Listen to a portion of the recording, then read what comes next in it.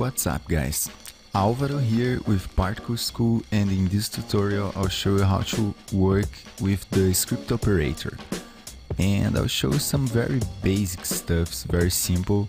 So we'll emit a particle and give it a speed. As you can see here we have no speed in this event.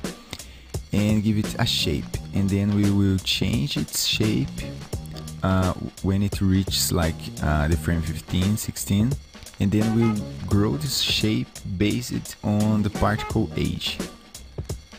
So let's close it and I will open this start scene.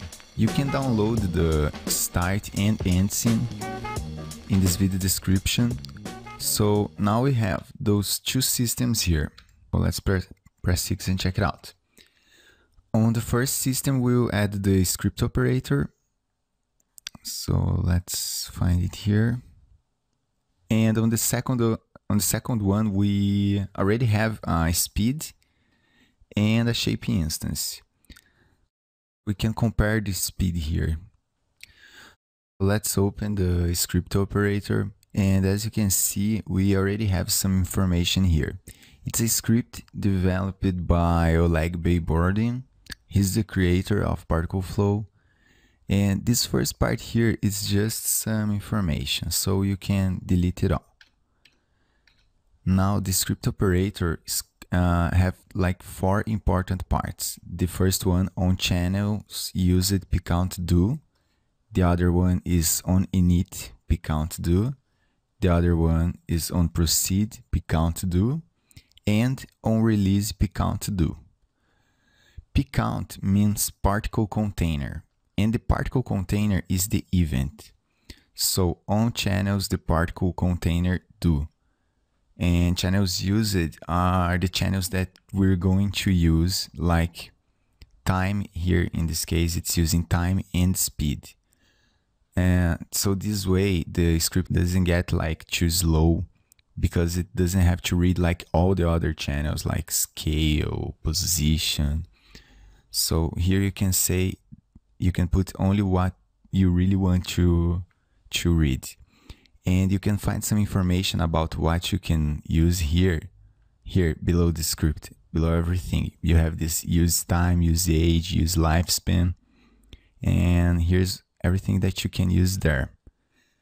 Then on init particle container do it will when it initializes this script it will do some action. You can leave it blank like this and this one on release particle containers do, you can leave it blank as well. The most important parts are, and commonly used are the first one here and the third one here. So in my example, I want to use the shape first. So let's add a channel here. You have to write pcount always here dot use what? I want to use the shape. And then you have to say that it's true. So equals true. I don't want to use this one, so I will delete it. And if you have some doubt, ah, is it shape and stuff, you can you can check here, like use shape. Okay. So on init, I don't want to do anything. And here we have all this information already. Uh, what I can say that it's really important here is the first one, count count number of particles. This will count the number of particles. And the second, and that one here, for i in one to count do. So I will delete this, all of this one here in the center, and I'll keep both of those. A lot of examples that I've seen around with Mac with the script operators, all of them use this. So just keep in mind to put this first of all on the on proceed particle count do. So open parentheses and do this here. And what it really does is count the number of particles and then for i in one to count. One to count is like one and two and three to the number of particles that we have. So in this case, I have only one, but I will increase it later. So I will keep it like this. And let's say that you have like five particles. So it will do this, this stuff like for one to count. So one, two, three, four, five. And then here, the part, the count particle index will be i, and i will be the number of the particle, like one, two, three, four. So you have to keep it this here as well. And the other stuff here we can delete. So I have this parenthesis here. I have to close it. So I'll keep this one here. Now delete all this other stuff. So count particle index equals i. So let's add another line that to use the to get my shape there.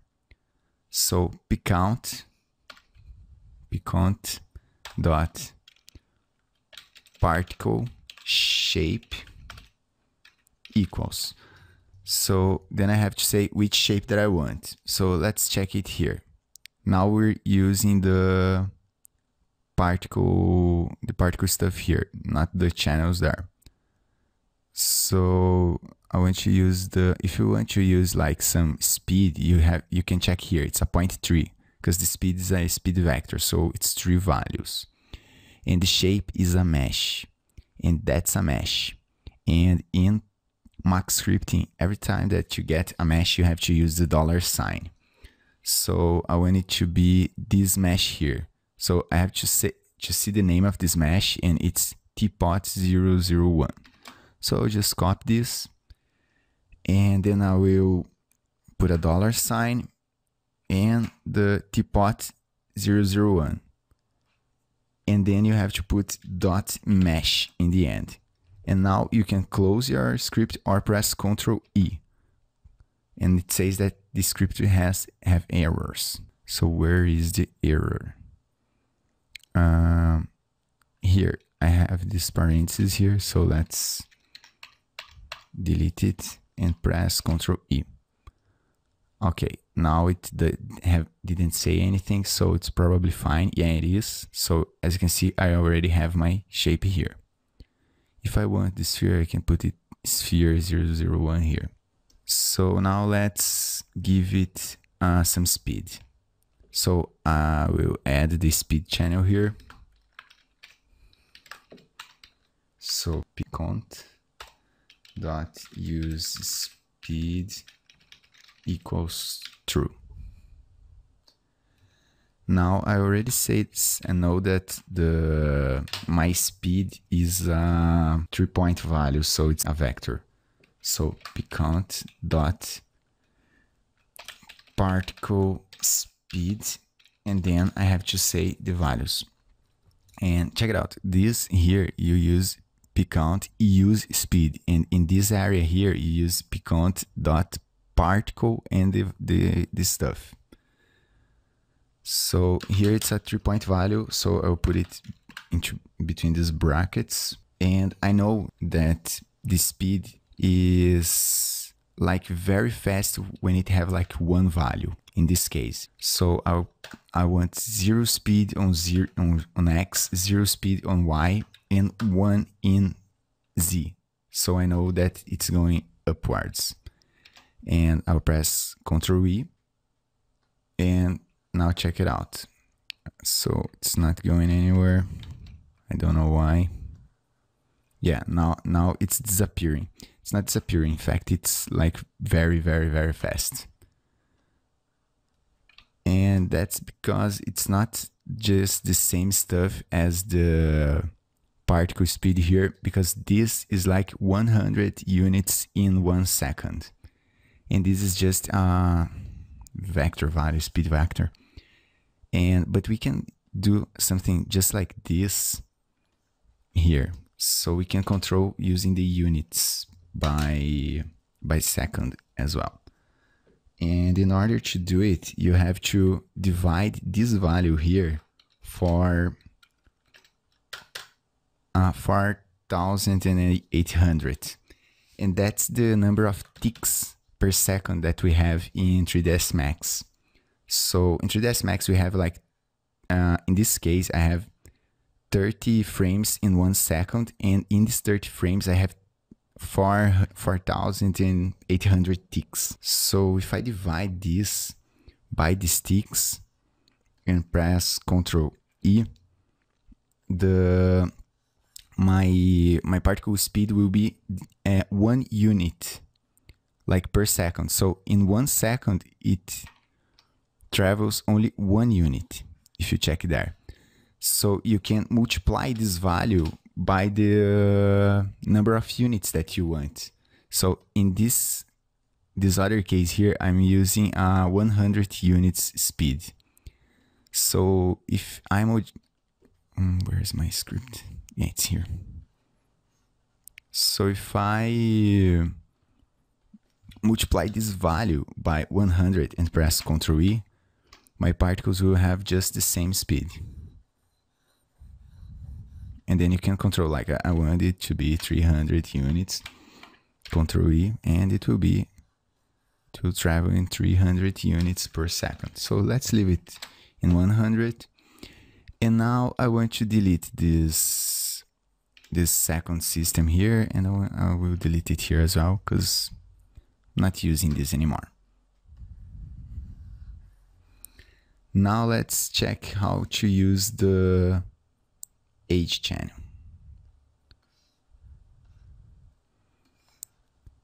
So let's create a variable. So we can say if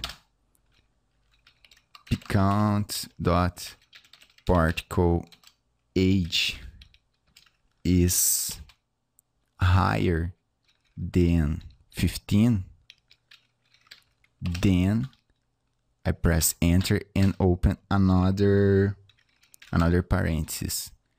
And now I'll do another stuff here. So let's say that I want the count dot particle shape to be my sphere now. So dollar sign sphere 001. I know that my sphere name is just like this. Dot mesh. Then I have to close the parentheses and press Ctrl E. And let's see it. See? It's changing its shape. And now let's do something. I have this gravity here and I want to show you what's going on. So if I add a force here and add my gravity here, it will not affect my my particles. And why is that happening? Here on my script operator, this stuff is being applied to this particle on every integration step. So here it's not just like the the the standard speed operator because there it will give the particle speed only in the first frame and the other frames it just uh, it don't keep applying this and here it's applying this speed on each frame so the force is trying to push it down but it's not going because it still have that speed going in this direction. So we can create another variable to make it only on the first particle frame when the, the particle borns. So let's create another variable. If count dot particle age is uh no is smaller then one, which is zero, then just you you you don't have to create this inside of this stuff here. You just can close this stuff and and continue and keep it keep doing it just like here. So then and then I press enter and open another parenthesis and then I will put my speed here. So I'll just delete it from here and paste it here and close it. So I'll press Ctrl E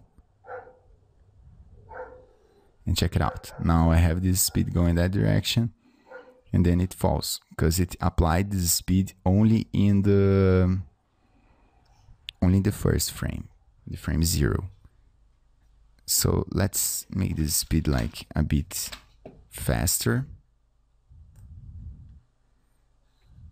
okay. And just to make sure that it's working to all all the particles we can put like a few more particles here. Yeah. It's great. So let's keep with one particle because it's easier to understand looking at only one I think. Ah okay. I, I want to show you another stuff you can control I will cancel the export mode. And if you grab the your object here, you can see that you have some a lot of uh, all of those options, those parameters, and you can control this stuff here as well. So if you right click here on this white area, you can open the listener window.